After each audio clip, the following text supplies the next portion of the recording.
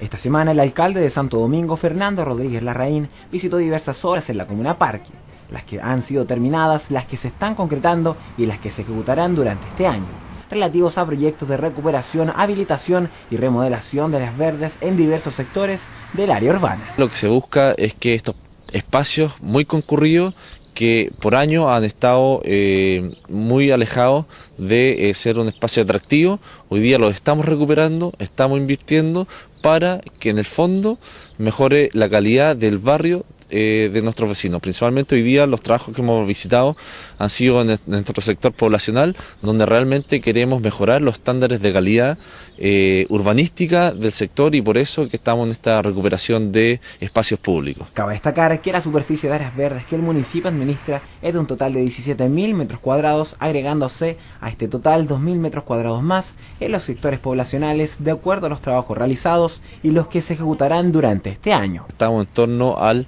10, 10 eh, metros cuadrados por habitante, estaríamos sumando, eh, sumando por lo menos un 7%. y, en ese, y principalmente destacar que este aumento eh, va principalmente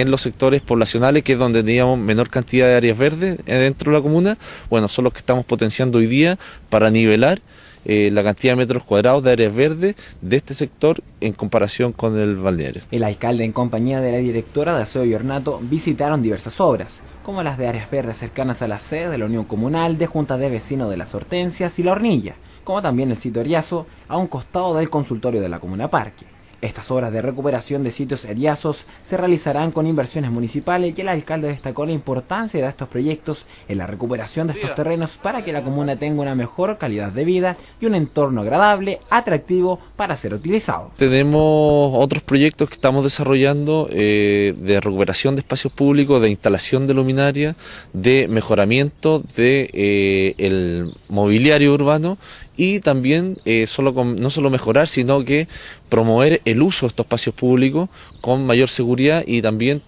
estamos incorporando wifi en, en algunas de las plazas los sectores poblacionales para que la gente también pueda dar un uso a estos espacios públicos. Estos proyectos se enmarcan dentro de la política municipal de la máxima autoridad comunal, Fernando Rodríguez Larraín, quien, preocupado de entregar mayor seguridad a la comuna, realiza esta importante inversión municipal.